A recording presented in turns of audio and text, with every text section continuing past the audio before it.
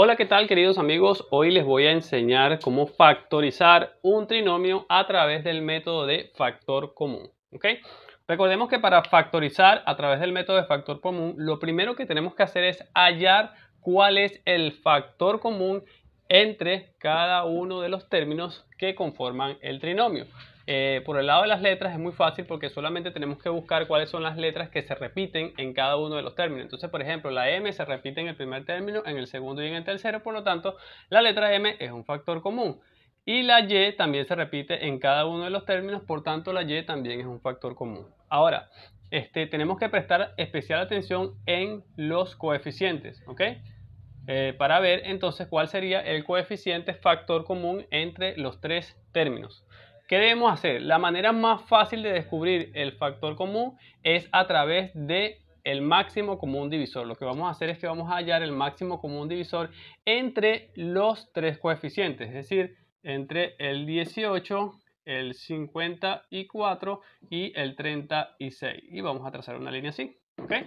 Y vamos a comenzar a dividir estos números entre los factores primos. Recuerda que para hallar el máximo común divisor debemos hacer una descomposición en factores primos y luego tomar aquellos factores que son comunes entre los tres. ¿sí? El primer número primo es el 2. Comenzamos a dividir entonces entre el 2 y vemos que 18 entre 2 nos da 9, lo vamos a colocar acá. 54 entre 2 nos da 27, lo colocamos acá. Y 36 entre 2 me da 18, lo voy a colocar acá. Ahora, fíjense, Voy a prestar especial atención de los números que, tengo, que estoy colocando acá que dividen a los 3, ¿ok?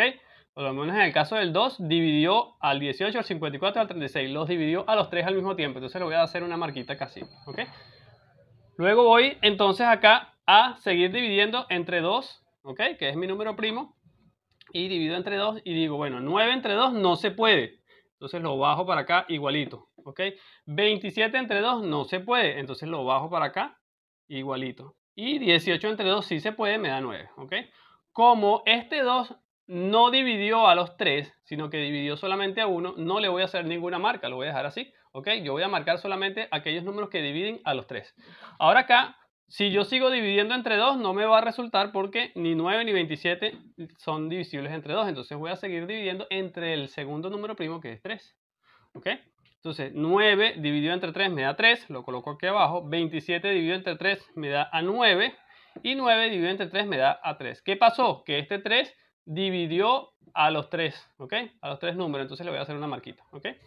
Sigo dividiendo entre 3, ¿bien? 3 entre 3 me da 1, ¿ok? 9 entre 3 me da a 3 y 3 entre 3 me da a 1, ¿ok? Este 3 también pudo dividir a los 3 números, por lo tanto también le voy a hacer una marca. Y finalmente acá me queda 1, 3 y 1, sigo dividiendo entre 3, ¿ok? Acá ya terminé, no tengo que hacer más nada, 3 entre 3 me da 1. Y acá también terminé, no tengo que hacer más nada, ¿ok? Entonces ahora, cuando yo veo que tengo 1 en los tres números es porque terminé de hacer la descomposición en factores primos de los tres números. Y voy a tomar entonces aquellos números que les hice la marca. Les hice la marca porque era un divisor común de los tres, ¿ok? Entonces el 2 es el máximo, común divisor va a ser 2 por 3 por 3, ¿ok? Y si yo realizo esto, digo que 2 por 3 son 6 y 6 por 3 son 18. Entonces 18, ¿ok? Es el máximo común divisor entre estos tres números. Por tanto, 18 es el factor común de los coeficientes que tengo allí. Entonces acá, vamos entonces, voy a colocar acá, el factor común es 18, lo voy a colocar aquí, 18, ¿ok? Y por las letras voy a ver cuáles son las letras que se repiten. La letra que se repite es la M, ¿ok? Y la voy a tomar con su menor exponente. Acá tiene exponente 1, exponente 2, exponente 1, lo voy a tomar con exponente 1, 18M, ¿ok? Y la otra letra que se repite es la Y, aquí la tengo Y cuadrado, Y cuadrado y Y cuadrado, entonces la voy a colocar Y cuadrado porque solamente aparece de esa forma, ¿ok? Abro un paréntesis y ahora acá voy a ir colocando lo que resulte de dividir cada uno de esos términos entre el factor común. Si yo divido, por ejemplo, 18mx y cuadrado entre 18m y cuadrado, ¿ok? Me va a dar eh, solamente x, ¿ok? ¿Sí? ¿Tienen alguna duda con la división? Pueden hacerla por aquí aparte. Por ejemplo, vamos a, dividir, vamos a hacer la división aparte aquí. Voy a dividir 18m xy cuadrado lo voy a dividir entre 18 my cuadrado, ¿ok? Cuando divido 18 entre 18, lo mejor es cancelarlos. Cancelo 18 con 18, ¿ok? Cancelo m con m y cancelo y cuadrado con y cuadrado. Solamente me queda la letra x, ¿ok?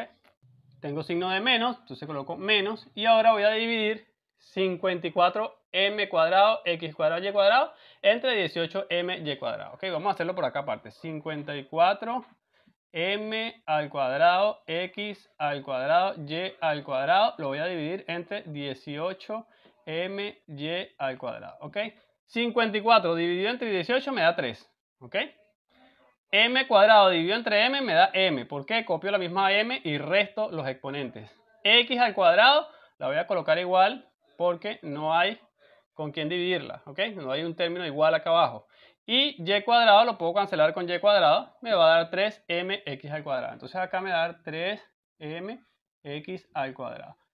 Tengo acá signo de más, coloco signo de más y ahora voy a dividir 36my cuadrado entre 18my cuadrado. Para no confundirlos, vamos a hacerlo por acá y decimos 36my cuadrado dividido entre 18 my cuadrado. ¿Qué me va a dar eso? 36 dividido entre 18 me da 2, ¿ok?